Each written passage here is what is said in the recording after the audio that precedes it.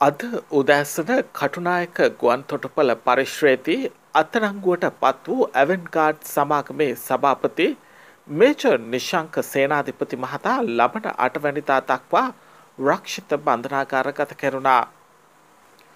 අද පස්වරුවේ කොළඹ විශේෂ ත්‍රිපුද්ගල මහාධිකරණය හමුවට ඉදිරිපත් කළ අවස්ථාවේ මෙම තීරණය දැනුම් දෙනු ලැබුවා.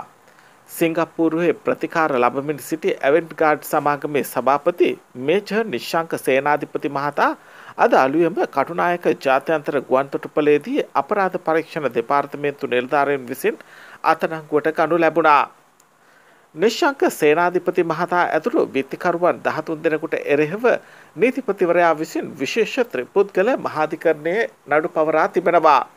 ඒ ඇවන්ගාඩ් මැරිටයිම් සර්විසස් සමාගමට අයත් MV ඇවන්ගාඩ් නැමති නෞකාවේ කිසිදු නීතියානුකූල බලපත්‍රයක් හෝ අවසර පත්‍රයක් නොමැතිව නීති විරෝධී අන්දමින් ස්වංක්‍රිය ගෙනි අවි අටසිය දාසයක් හා ජීව උන්ඩ දෙලක්ෂ දෙදහස් තුන්සිය අනූ පහක් තබා ගැනීම ඇතුළු චෝදනා හදස් පන්සිය හැත්ත තුනක් යටතේ.